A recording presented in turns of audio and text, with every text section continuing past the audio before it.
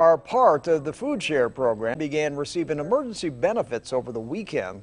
The new guidance from the USDA pushed for new allotments to SNAP and FoodShare households.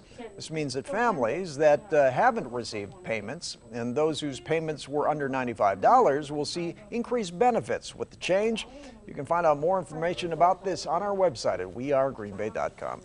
And we thank you all for allowing us to share some of your stories in the community today at 4. Stick with us. We're back with more local news at 4.30, two and a half minutes away.